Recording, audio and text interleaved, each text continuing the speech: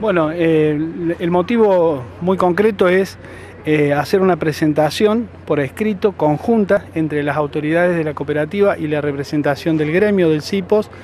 a la Intendencia solicitando al nuevo intendente, ya en funciones, este, una audiencia en el marco de plantear, que creemos, estamos convencidos de esto, plantear la necesidad de iniciar un proceso de diálogo buscando resolver de manera definitiva la problemática de la prestación de los servicios de agua y saneamiento. ¿Ustedes tienen esperanza que con este nuevo intendente se abra el diálogo? Nosotros entendemos que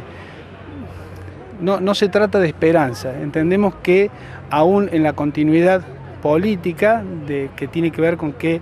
el intendente pertenece al mismo espacio político del intendente anterior, aún así este, es, un, es un nuevo intendente, es un nuevo gobierno, hay un nuevo consejo de representantes y creemos que este, si hay institucionalidad, si hay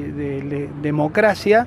deberíamos poder este, plantearnos iniciar ese proceso, ese proceso de diálogo, poder revisar a la luz de un nuevo gobierno cuáles son las políticas que se piensan o cómo se ve la solución definitiva de la prestación de los servicios de agua y saneamiento. Concretamente hay dos causas, una tiene que ver con el servicio de agua potable y la otra tiene que ver con el servicio de cloacas. El expediente que tiene que ver con el servicio de agua potable se encuentra a fallo, a fallo, digamos, se encuentra en la Corte Suprema de Justicia de la Nación después de que se agotó toda la instancia judicial en, la provincia, eh, fue, remitido a petición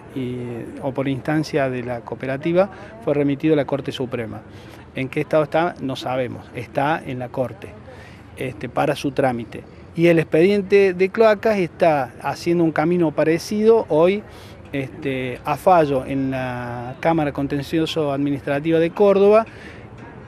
en un trámite en el marco del cual el magistrado interviniente planteó un proceso de, conciliación o de mediación, hubo una audiencia de, conciliación que está prevista procesalmente en el, día 7, eh, se pasó un cuarto intermedio hasta el día 9 de septiembre, en el marco del cual el magistrado instó a las partes a que intenten algún acuerdo eh, dialogando sobre eso.